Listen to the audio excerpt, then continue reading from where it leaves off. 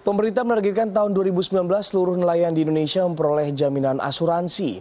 Direktur Jenderal Perikanan Tangkap Syarif Wijaya mengatakan pada 2016 terdapat 196 ribu nelayan yang sudah dijamin asuransi. Sementara tahun ini ada 500 ribu sehingga total jumlah total nelayan sudah memperoleh asuransi sebanyak 996 ribu. Untuk tahun depan, Syarif memperkirakan bakal bertambah 500 ribu dari total 2,6 juta nelayan di Indonesia dan pada 2019 diharapkan semua nelayan sudah dijamin asuransi. Besaran manfaat santunan asuransi nelayan akibat kecelakaan aktivitas penangkapan ikan hingga 200 juta rupiah apabila, apabila meninggal dunia. 100 juta jika mengalami cacat tetap dan 20 juta untuk biaya pengobatan. Sedangkan jaminan santunan kecelakaan akibat selain aktivitas penangkapan ikan 160 juta apabila meninggal dunia.